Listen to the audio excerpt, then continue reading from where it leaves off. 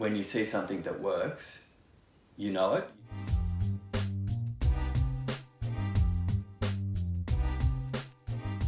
Yeah, I didn't get enough marks to get into art school. No, to get I wanted to do design at COFA. yeah. And I didn't get enough marks to wasn't smart enough to, What like in, to what was it? What, the when you finished school? What was it? Uh, 97 I finished. Ninety seven. So Yeah. it would have been a UAI or No. a TER. Uh, TER. Yeah. yeah. And you needed a TER And- of ninety seven. Um, oh, I don't think it was even that. Um, but I then went to. I ended up at COFA just on a visit and saw these interviews for applied arts and met a great lecturer there.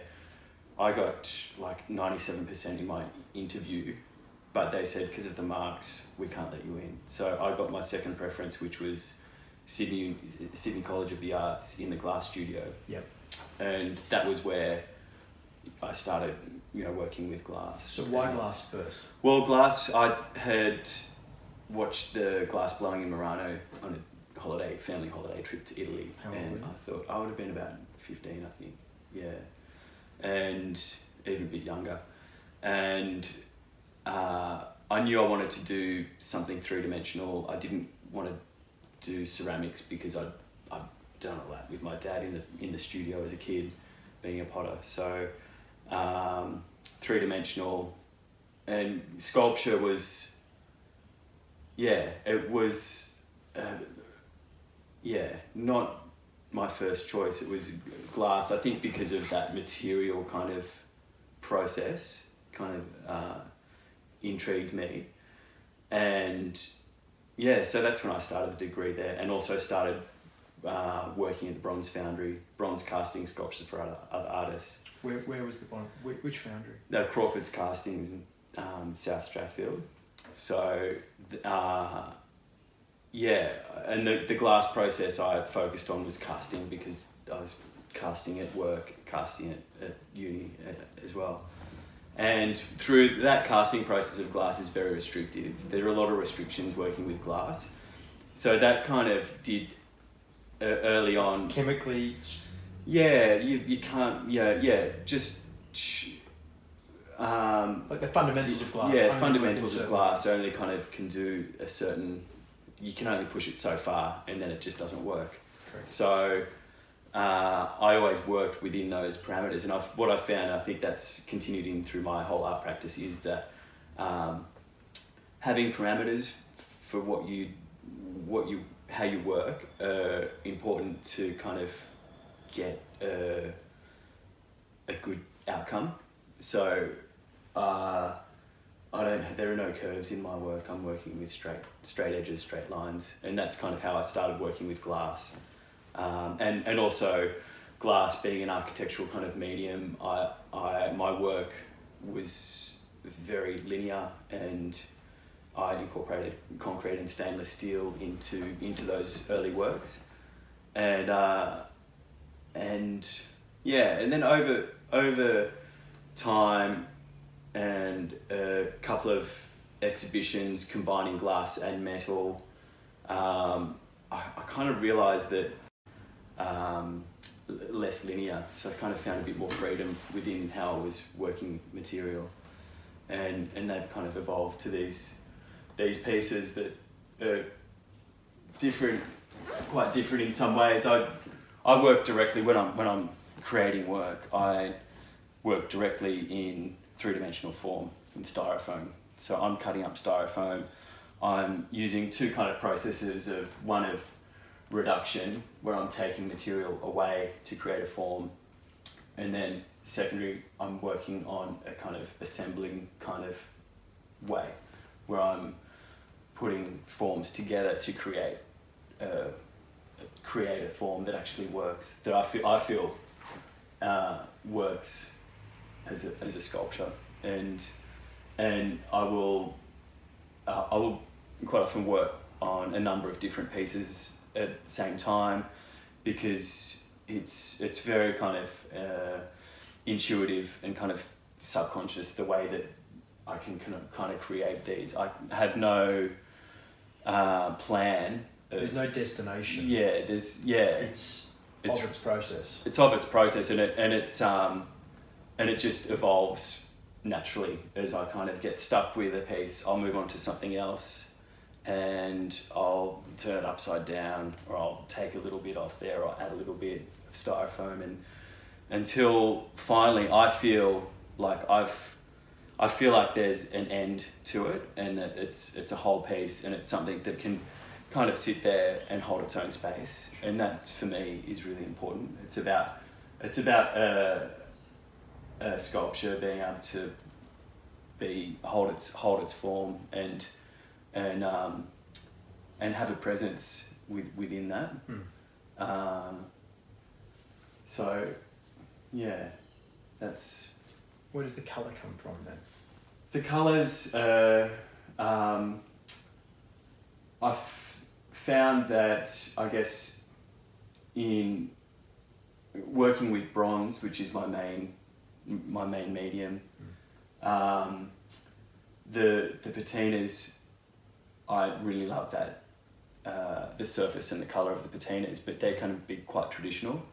So having being able to apply a, a, a color um, is it was a great kind of opportunity for that. I kind of it's not really traditionally you wouldn't put a color on a bronze sculpture, but uh, being contemporary art, I feel like it's it's allowed and and I think it works quite well. Colors, you know. Um, it's, there's no particular reason for the colors. I like the, you know, the I guess the the warm warmer colors uh, fit nicely into the you know heat heat wave exhibition. So they'll um, yeah yeah they're just some favorite colors. Yeah. When you're deciding on the color, is this a process of? Do you, do I mean do you do you paint them yourselves firstly? No no I've got a, a um, professional painter that paints my work and the surface is very important to me. You'll notice with these pieces that there's a satin finish to thirty percent satin. Um, and that that finish is really important to me because it's uh, absorbing some of that light that you that you would get reflected from something that's a bit glossier. So, and I like that idea. I kind of feel it adds to the the strength of the work and its ability to kind of stand alone. It kind of, um, yeah, something about that surface just having a softer finish. But then I suppose back to the question I was going to ask, which is how do you decide on the tone of colour? Is that something that you work in? Obviously, you're working with the painter on that, but you know, if I was to paint the walls of my home or my gallery, the gallery downstairs, is like you go to the Dulux shop, correct, and you get swatches. Yeah, Is it that you are interlaying? Is that you know that it's that yellow versus that yeah. yellow, or is it that red versus that Well, or, or is that something that organically I have- of a conversation with the painter? Yeah, yeah. I the outdoor sculpture that I had in Sculpture by the Sea a few years ago. Um, I went to my spray painter with a blue T-shirt that I had, and I said, "Can you color match this? I really like the color, and and and the and the surface." That so he he could do that for me, um, and I guess the um, yeah other than that, like it's just you know a safety red and a safety yellow. They're just kind of you know they're the the colors if you kind of yeah in the in the catalog. Yeah, yeah, yeah. or no, but I was more like in terms of how you adapt that is that is that it's that primary. It's going with the actual primary resonance of the color. Yeah, It's not trying to be too fiddly. Then. It's Yeah. just- yeah, yeah, it's yeah, instinctual. yeah.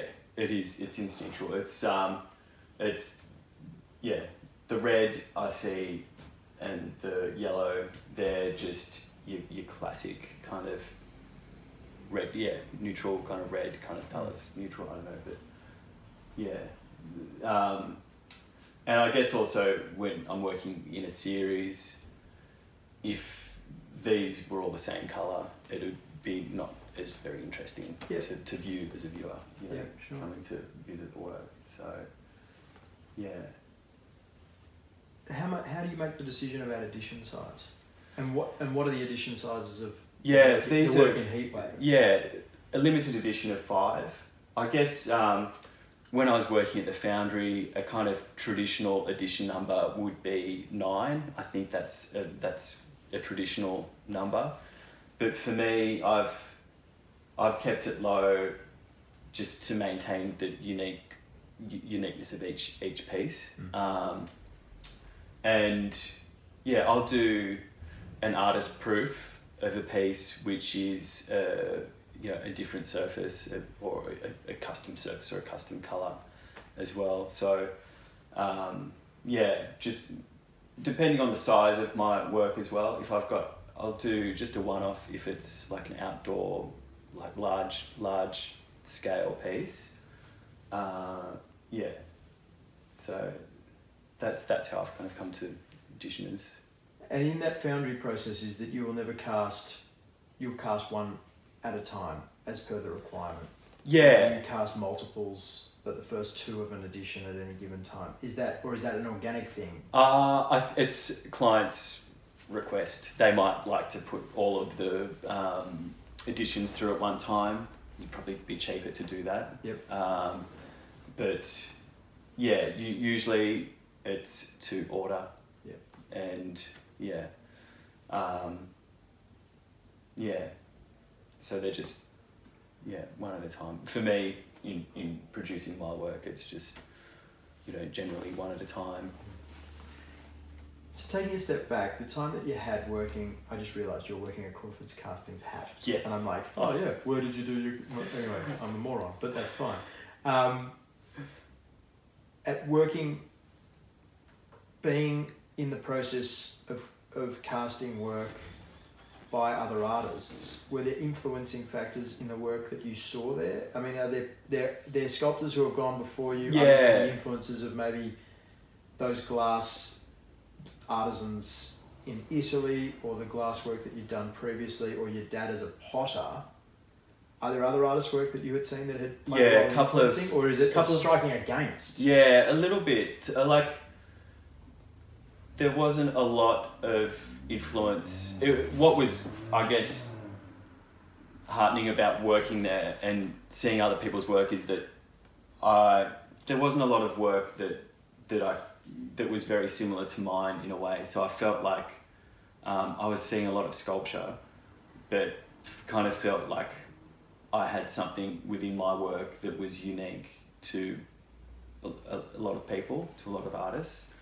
There were a couple of artists that that went through. Bert Flugelman, who's Australian artist, he his work would come through every now and then, and I really love his work. And he's got um, sharp lines, his curves. You know, he's an influence in my work Mm. as well. Um, and Clement Meadmore as well. A couple of his pieces came through the foundry over the years, and he's he's my my top top artist. I really love his work. Um, so yeah, that's yeah, kind of work work like that, abstract geometric kind of forms. Yes. Um, but a lot of the a lot of the work that we saw through the foundry were um, um, figurative figurative works. So yeah.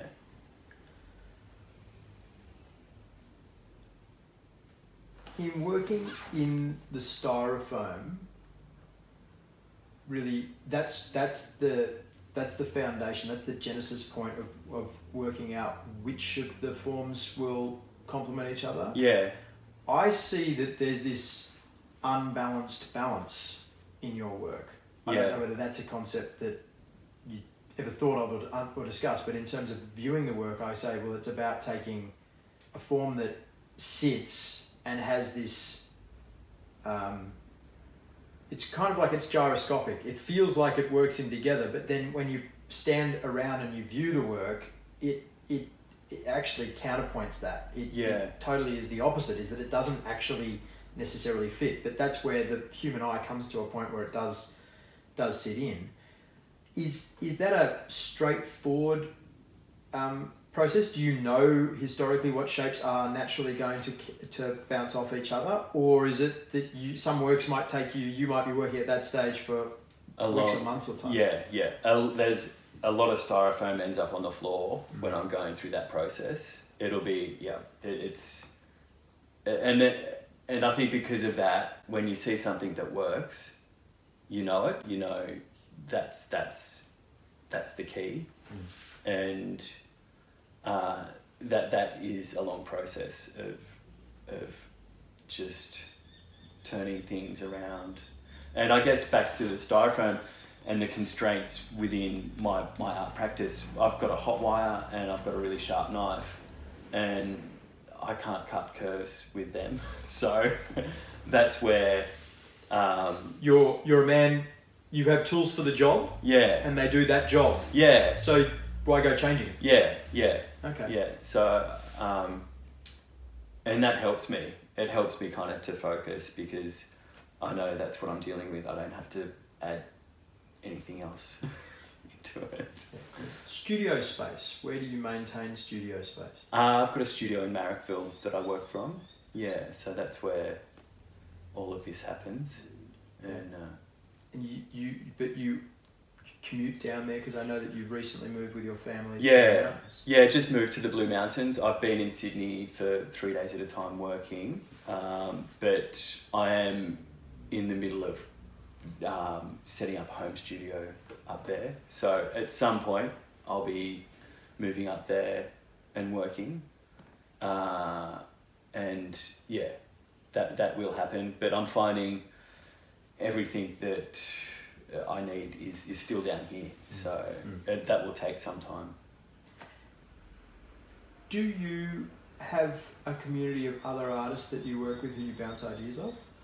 Um,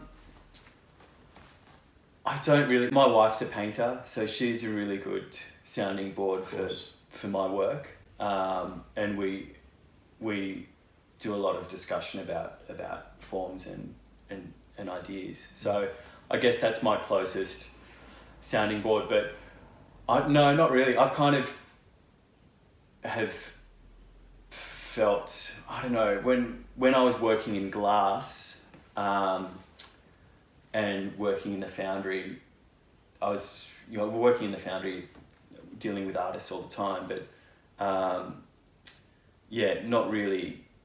uh, It didn't feel like I was, you know, in in the sculpture kind of realm.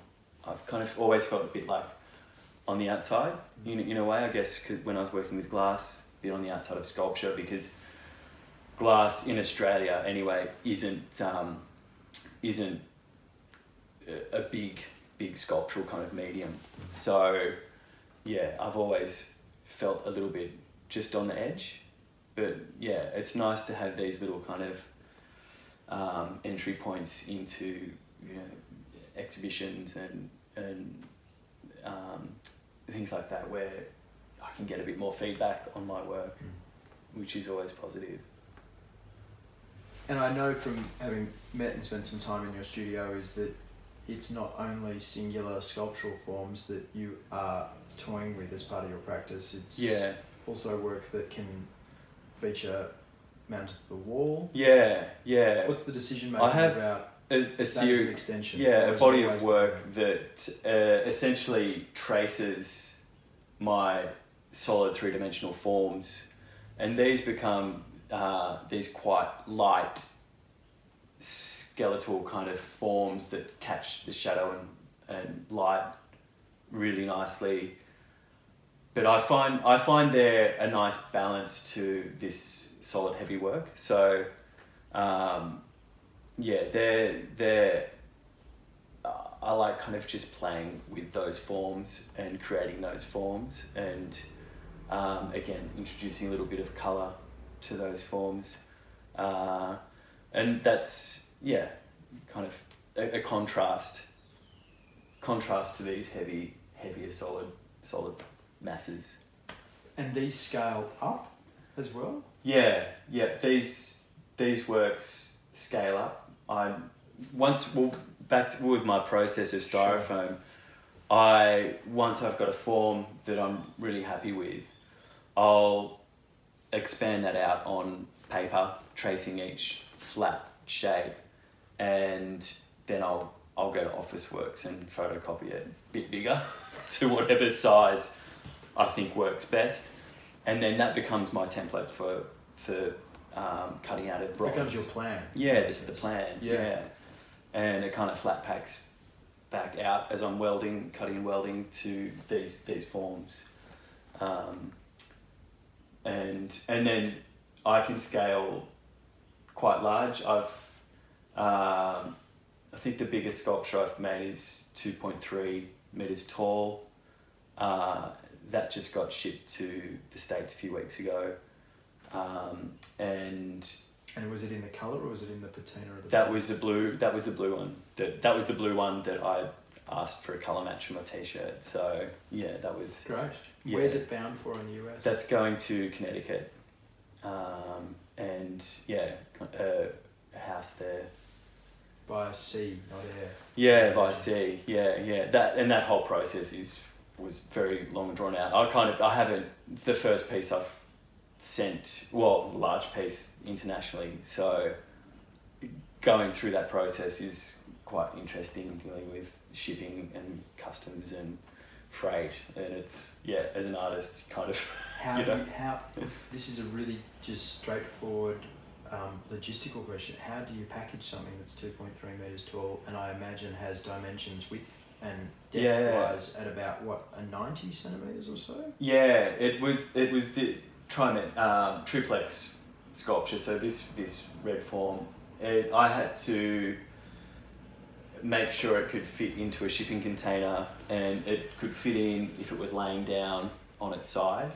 So I had to design and weld up a, a steel trolley for it to lay, lie down on with wheels and, and then they crate it up in a box and yeah, kind of get it Will you will you go to Connecticut for delivery? Um, ah, For install? yeah, I would love to, but I think uh, with four kids and a wife, I don't, I don't know if I'll get there. I don't know. Time, cost, money, people. Yeah, yeah, Yeah. yeah. How old are your children? Uh, my oldest is ten, and then I've got a seven-year-old, a five-year-old, and a eighteen-month-old. So yeah, it's a full, it's a full life. Oh, yeah, and three days of work. Probably Yeah, yeah. Balances nicely, but feels like It's everything's a juggling act. yeah, yeah. Well, it's hard. Like after three days, I actually quite miss miss the kids, and and you kind of and the little one, like um, my youngest, Minnie, she's changing weekly. So I think you'd know about that. Yeah, definitely. Yeah. Yeah, but so- I've only got two. Yeah. The youngest is the same age. Yeah. And I'm like, oh, I'm never at home enough. Yeah. It feels. Yeah. But um, yeah. yeah, so the move to, to the Blue Mountains was built out of a number of reasons, a bit more Uh, space. more space, yeah. My parents are up there too, so a bit of family support's really good. Yeah. We, we didn't have that down here, so and just um, yeah, more space, big backyard. We're on the edge of the national park. It's wilderness there, so and we've got birds that come and feed off our hands in the backyard at the back door, and that kind of life for my kids is uh, what I want. So Yeah. yeah, yeah. And it was space is becoming an ever more valuable commodity in Sydney. Yeah, yeah, yeah, And for kids, yeah, space to run around, I imagine, is becoming is the key thing. yeah, yeah, yeah. These kid, the kids can now they just run around, the, you know, do laps at the house. It's great. Just yeah, yeah, Mate, we've got some gold in there. yeah, Yeah, Okay. absolutely. I'm going to ask a couple of the very original questions. yeah, Because I think I got a phone call yeah, and I don't know whether it stopped recording for that moment Right. or not. Yeah, yeah. What were the first questions that I asked you? Uh, I was talking to you about the glass sculpting.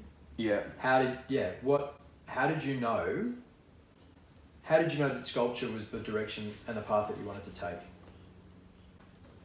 Uh, I get it evolved into it evolved from uh, my my study. Well, I, you know, I think wanting to do wanting to be creative and um, wanting to be doing oh, I don't know like kind of Creativity wanted to pour out of you. yeah Something you knew uh, really early on. I always loved making things, making things uh, out of in, with my hands, and I love the idea of. Um, I love the idea of turning one thing, essentially a, a worthless thing, into something that's got worth, like not necessarily financial worth, but uh, worth in that I've created it with you know with the ideas in my head. And and can turn it into something that's precious Yeah. and special Yeah. and Of its own value. yeah yeah and and that kind of thing is then forever like the the sculptures you know they're they're forever bronze is archival it's you know it, the things that i'm making are going to be here f- forever to come They're so still digging things out of the ground from the Bronze Age, right? yeah, yeah, yeah. So, um, yeah, that idea. uh, Yeah, I like that idea of um, creation, and yeah, When you say that you used to like making things out of your hands, is that a case because your father, as a potter, did you spend time in the studio with your dad? yeah. My earliest memories are of of mucking around with clay in in his studio, and um, yeah, um, yeah, working with the clay, working with its process, and and um, just seeing. I, I was always amazed that my dad was a production potter, so he he could make a hundred mugs exactly the same, and I've just I've re- it took it was when I was older that I could actually really appreciate what he did, what he could do, Yeah. and and uh, and you know for a long time earned a living from doing that. So uh, that idea of again turning a, lump of clay into something that's um, people use and appreciate. use, yeah. So, yeah, that's that idea I really liked, and I guess in terms of you know this my sculpture practice and how it's evolved, it was it was that uh, initial study study of glass and and material and and just being true. I guess there was a point where I stopped I stopped working with glass and just started working with metal, and that was where my my work um, became a lot less architectural and became uh, more about geometric abstraction Mm. and and exploring those forms. Like it's a kind of pure pure form kind of based work. Mm. It's um, yeah, and and the material um, again I guess informs my work in that I'm using sheets of bronze and you know get cutting that up. It's all flat, straight, till I kind of put it together. Where do you source bronze from? Um, there's a, a place in Sydney, Brass and Copper. They they bring it up from Melbourne, and Melbourne brings it in from the states. I'm kind of.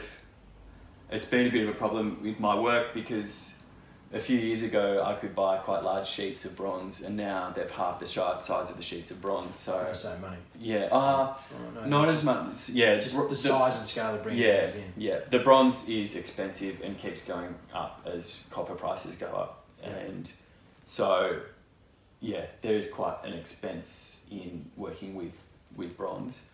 But now I'm restricted by my sheet size, so it's uh, yeah, it's kind of can be a problem. So then, large scale works, large format works at two point three tall. Yeah, Are they accommodated for in that sheet size? I'll make you the I'll make the large scale works out of steel. You are at a steel, Yeah, because bronze is just you can't, can't get the sheet can't size get the sheet size. Yeah, Yeah, right. yeah. And archivally, is there a difference in the steel versus the bronze then? Um, I there is because eventually, Two different compounds. yeah, yeah, the bronze steel will rust away. But I haven't. My my sculptures are, are painted with um, lots of different things to Yeah, correct. stop that Yeah, happening. to cease that Yeah, yeah, elemental corrosion. yeah, yeah. And I imagine the paint then holds all of that in. Too. Yeah, yeah, yeah. The, the paint becomes a really important part of that archival process. And so, yeah, that is really important.